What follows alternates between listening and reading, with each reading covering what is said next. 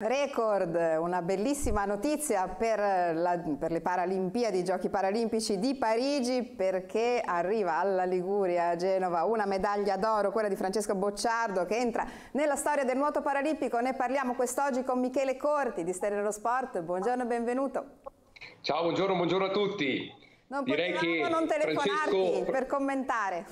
Francesco entra nella leggenda, è davvero un campione straordinario, ha centrato il suo quarto oro in tre Paralimpiadi dopo la prima vittoria nei 400 metri stile libero a Rio de Janeiro, la doppietta tre anni fa a Tokyo nel 2021, l'edizione post-Covid dei Giochi Olimpici con le medaglie d'oro nei suoi 200 metri e anche nei 100 metri stile libero e poi Ieri sera questa eh, terza Paralimpiade in cui ha timbrato ancora una volta il eh, primo posto con una progressione straordinaria. Eh, Filippo Tassara, il suo storico allenatore, eh, aveva pianificato ancora una volta tutto, ha detto vai col tuo ritmo fino alla terza vasca, eh, è stato in terza posizione, poi in seconda posizione, l'ultima virata era secondo, la progressione negli ultimi 50 metri fino alla medaglia d'oro. È il primo italiano nella storia a vincere tre ori in tre eh, giochi paralimpici diversi. Entra di diritto nella leggenda dello sport azzurro a livello internazionale con la sua umiltà, con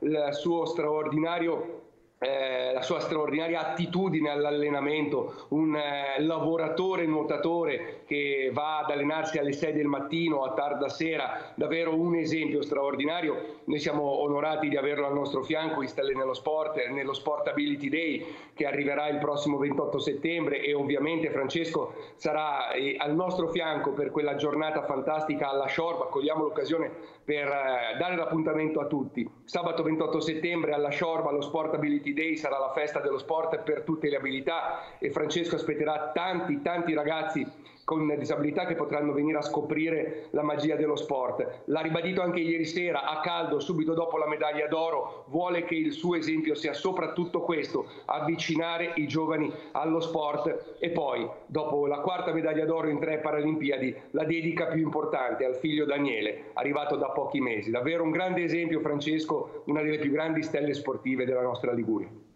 E noi siamo molto felici per lui, anche un grande amico di Primo Canale, spesso ospite anche nelle nostre trasmissioni e gli facciamo insomma, i nostri complimenti. Non è il solo atleta ligure ai Giochi Paralimpici di Parigi, abbiamo un bel parterre, una bella rappresentanza, Michele.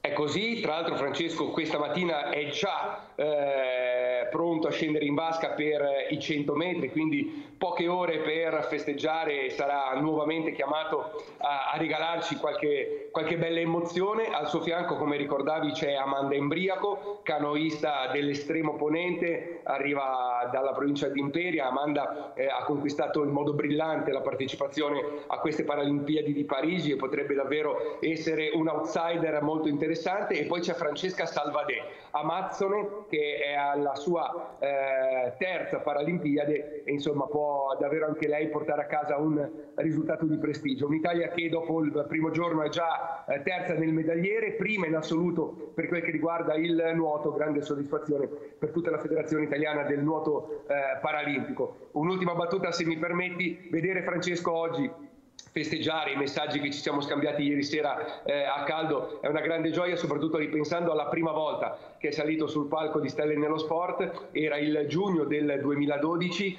eh, la sua ambizione era andare prima o poi alle Paralimpiadi, da lì a un mese sarebbe stato incredibilmente convocato per le sue prime Paralimpiadi, quelle di Londra 2012, il resto è storia e anzi direi che da ieri sera è leggenda. Una carriera di fatica, diciamolo, e però insomma, costellata poi dai successi strameritati che parte proprio da Genova di cui tu sei stato testimone. Grazie Michele Corti di Stelle nello Sport, grazie, Grazie. buona giornata. A voi, buona giornata sportiva a tutti.